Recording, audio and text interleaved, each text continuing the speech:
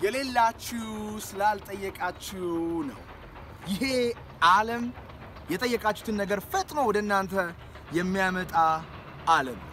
በነገራችን ላይ ከምታስቡት በላይ ትልቅ ኃይል አምላክ ሰጥቷቸዋል። የሰው ልጆች ትልቅ ኃይል አለ። የጠየቅነውን ያንኳኳነውን ከእጃችን እናስገባለን። የፈለግነውን እንይዛለን። ችግሩ ግን እንዴት መጠየቅ እንዳለብን አልተማርንም ወይም አላወቅንም። ከዚህ የተነሳ የምንጠይቀው ነገር ባለማወቅ ድህነት፣ ችግር፣ በሽታ፣ የፈረሰ ትዳር፣ ስቃይ፣ መከራ፣ መጠላት ሆኗል።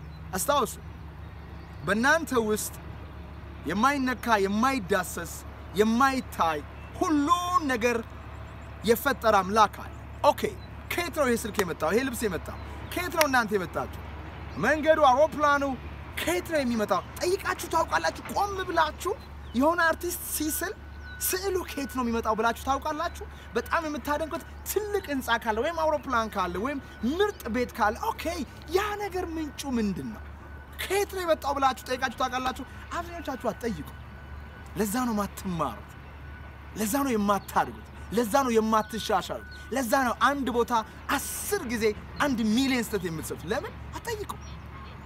ብትጠይቁ የጠየቃችሁት መልስ ወደ እናንተ ይመጣል። ብታንኳኩ ይከፈትላችኋል። ከፈለጋችሁ ታገኛላችሁ። ግን አትጠይቁም። እናት እንዴት አእምሯችሁ ስለተሰራ አንድ ቦታ ስለተቸከለ ሰዎች የአምላክ መንፈስ እናንተ ውስጥ አለ። ወደዳችሁም ጠላችሁም ምንም ነገር ማድረግ የሚችል ምንም ነገር መፈጸም የሚችል ቢዝነስ መፍጠር የሚችል ሀገር መለወጥ የሚችል የትዳር ችግር የሚያስተካክል ጥያቄ የሚመልስ በሽታ የሚያድን የአምላክ መንፈስ ሁላችሁም ውስጥ አለ። Just ጠይቁ። ልባችሁ ሲመታ እንዴት እንደሚመታ እዩ። Hey አስቡ፣ አስተውሉ። አበባውን ተመልከቱ፣ ተራራውን ተመልከቱ፣ ሰማዩን እዩ፣ ህንፃውን እዩ፣ መንገዱን እዩ፣ ራሳችሁን እዩ። እንዴት እንደሚሰራ ስትመለከቱ እጅግ በጣም ጠለቅ ያለ ጥበብ ያለው ማስተዋል ያለው ከሰው ልጆች መረዳት ሁሉ የሚበልጥ ከሳይንስ ከፍልስፍናው ከፖለቲካው ከሚሊታሪው የሚበልጥ ብዙ ጥበብ ያለው ዘላለማዊ ጥበብ ያለው የተፈጥሮ የውበት የአሸናፊነት ምንጭ የሆነው የፈጣሪ መንፈስ እናንተ ውስጥ አለ። እናንተ ውስጥ አለ። ታውቁታላችሁ። በነገራችን ላይ ይሄን ቪዲዮ የምታዩት oh my gosh ማንያዘዋል ትክክል እያወራ ነው እያላቸው ልባችሁ መንፈሳችሁ yes እያለ ነው። እንዴት እንደምታወጡት ነው የማታውቁት እንጂ በውስጣችሁ ለመውጣት የሚታገል ትልቅ መንፈስ እንዳለ ይናውዛት ታውቃላችሁ። ሁላችሁም ታውቃላችሁ። ድሃ ብትሆኑ ሀብት የሚፈጥር ማንነት እናንተ ውስጥ እንዳለ ታውቃላችሁ። ፈሪ ብትሆኑም እንኳ ደፋር ያመነበትን የሚያወራ የፈለገውን ነገር የሚያደርግ መንፈስ እናንተ ውስጥ እንዳለ ታውቃላችሁ። ትዳራችሁ ሲሰባበር ትዳራችሁን የሚጠግ ልጆቻችሁን በስነ ስርዓት የሚያሳድግ ማንነት እናንተ ውስጥ እንዳለ ታውቃላችሁ። ኃጢአት ስትሰሩ ጻድቅ ቅዱስ የሆነ ማንነት እናንተ ውስጥ እንዳለ ታውቃላችሁ። ችግሩ አልጠየቃችሁ። ችግሩ ያ ነገር ምን እንደሆነ ወጥታችሁ አላነበባችሁ። ችግሩ በየሃይማኖታችሁ ቅዱሳት መጽሐፍ ገብታችሁ ተደፍቃችሁ አምላክ ምን እንደሆነ መንፈሱ እንዴት እንደሚሰራ እንዴት ኃይለኛ አድርጎ እናንተን እንደፈጠረ በተለይ ደግሞ እንዴት ከእናንተ ጋር እንደተገናኘና ለጥያቄያችሁ ምላሽ እንደሚሰጥ ለእምነታችሁ ምላሽ እንደሚሰጥ ስታንኳኩ እንደሚከፍት በእናንተ ህይወት ውስጥ ገብቶ ከእናንተ ጋር አብሮ ለእናንተ ስኬት እንደሚጫወት አልገባችሁ። አበቦችን ብጠይቋቸው ግን ይነግሯቸዋል። ወፎችን ብጠይቋቸው ይነግሯቸዋል። ውሃውን ብጠይቁት ወፉ ይረዳሉ፣ ጥበብ አላቸው። አንደርስታንድ ያደርጋው ላይ ጨነቁ። ኮሮና መጣ ብለው አያለቃቅስም። መንግስት መጥፎ ነው፣ ዴሞክራሲ የለም ብለው አያለቃቅስም።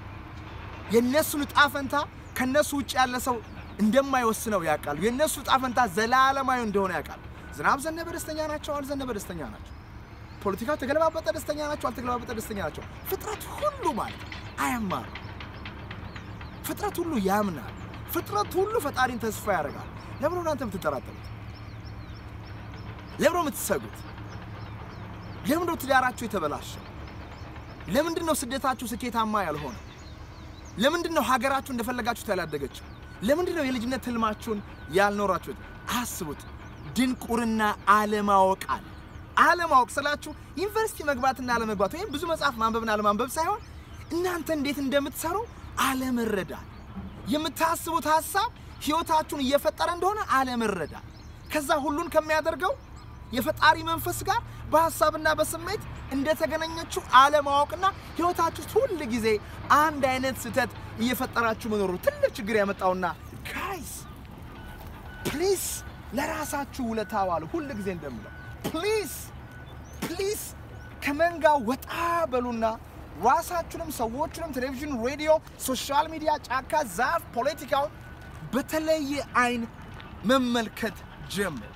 የምታደርጉትን ለምን እንደምታደርጉ ጠይቁ። ስትጨነቁ ለምን እንደተጨነቃችሁ ጠይቁ። ስትራቡ ለምን እንደተራባችሁ ጠይቁ።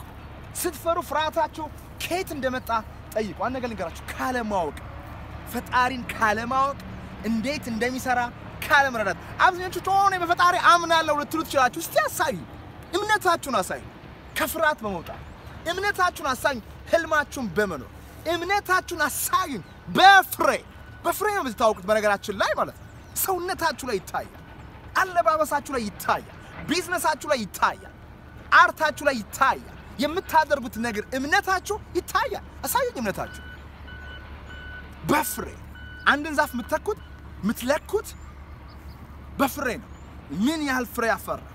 የኔና የእናንተም ህይወት የሚለካው በፍሬ ነው። አንድ ልንገራችሁ፣ አምላካችሁ ሁላችሁም እንድታሸንፉ ይፈልጋል፣ እንድትደሰቱ ይፈልጋል። አንድም ሰው እንዲሸነፍ አይፈልግም ፈጣሪ። አንድም ዛፍ ሳያበራ እንዲቀር አይፈልግም ፈጣሪ። ፍጥረት ሁሉ ወደ እውነት፣ ወደ ስኬት፣ ወደ ደስታ፣ ወደ ዘላለማዊ ድህነት እንዲሄድ ፈጣሪ ይፈልጋል። ግን መጥፎው ነገር እነዚህ ዛፎች ፈጣሪን አለማምለክ አይችሉም። እነዚህ ድንጋዮች ፈጣሪን አለማምለክ አይችሉም። already በውስጣቸው ተቀምጧል። ግዴታ ነው።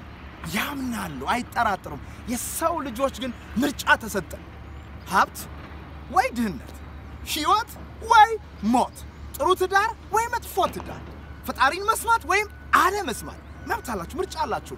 ያ ምርጫ ነው ህይወታችሁን እያበላሸ ያለ። ሰው ከፈጣሪ ጋር የምትግባቡት በሀሳብ። ዝባዝንኬ ሀሳብ ዓለም ወደ እናንተ ውስጥ ጨምሯል። ከቤተሰብ፣ ከሚዲያ፣ ከትምህርት ቤት፣ ከመንደራችሁ ውስጥ እንቶ ፈንቶ የሆነ ወደ መጥፎ ህይወት የሚወስዳችሁ ሀሳብ ይሄ ዓለም ባለማወቅም በማወቅም የእናንተ አእምሮ ውስጥ ጨምሯል። የሀሳብ መጥራት አለ። አምላካችሁ እንዲሰጣችሁ የምትፈልጉትን ነገር የምታንኳኩት የምትጠይቁት በቃል በምላስ አይደለም። መጀመሪያ በሀሳብ ታቀናጁታላችሁ። ምን አይነት ጤና፣ ትዳር፣ ቢዝነስ፣ ዘላለማዊ ህይወት ምንድን ነው የምትጠይቁት ከፈጣሪ? ምንድን ነው የምትፈልጉት? ትልቁ ነገር ምንድን ነው? ያንን ነገር blueprint ኡን መጀመሪያ አእምራችሁ ውስጥ ፍጠሩ። ልክ አንድ ቤት ሲገነባ blueprint ኡ ካርታ ወረቀት ላይ እንደሚጻፈው እናንተም አእምሯችሁ ውስጥ ከፈጣሪ በሚመጣው ዘመን ላይ የምጠይቀው እነዚህን እነዚህን እነዚህን እነዚህ ብላችሁ ጥቂት ነገሮችን በትልቅ ነገሮችን ያዟቸው። ያን ነገር ያዙና በልባችሁ እንደሆነ አድርጋችሁ ፊል ማድረግ ጀምሩ። ስሜታችሁን እናንተ ራሳችሁ የፈጠራችኋቸው ትልቅ ሀሳቦች በልባችሁ እንደሆነ አድርጋችሁ ትልቁን ሀሳብ በጥሩ ስሜት ስትለውሱ አሁን የፈጣሪ ሀብት ኃይል ከእናንተ ጋር ለመተባበር እጁን ይዘረጋል። ምክንያቱም ለመስራት ፈጣሪ ሲሞክር ልባችሁ ጋር መጥቶ ሲያንኳኳ ብሎክ የምታደርጉት ስትሰጉ፣ ስትፈሩ፣ ስትጠራጠሩ ይሄና ያ ቢሆን ስትሉ በውስጣችሁ የድህነት የሽንፈት ስሜት ሲሰማችሁ ፈጣሪ እንዳይመጣ በር እየዘጋችሁ ነው። ፈጣሪ እንዲመጣ ከፈለጋችሁ ሀሳባችሁን አቃኑና በውብ በልባችሁ ውስጥ ያለው ሀሳብ እንዲቆጣጠራችሁ አድርጉ። አሁን ያለው ገንዘባችሁ አለ። አሁን ያለው እውቀታችሁ አለ። አሁን ያላችሁ ዲግሪ አለ።